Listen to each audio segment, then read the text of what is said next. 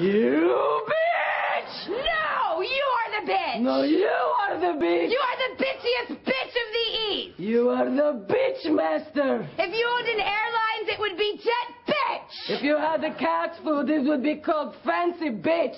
Or perhaps tender bitches. If you owned a chain of cheap Mexican restaurants, it would be Taco Bitch. What do you cook your Japanese steaks on? A high bitchy? Girls, girls, girls. You're both horrible, dried up bitches.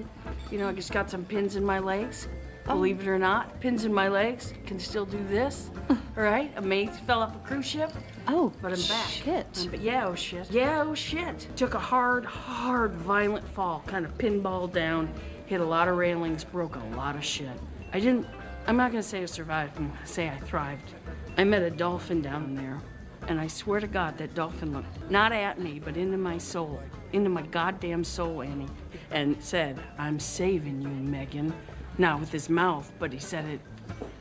I'm assuming telepathically. We had a connection that I don't even know if I can. Ex- oh, jeez. Hey, shut my mouth. Look at, unbelievable. You must be Annie's fella. Play, uh, Megan.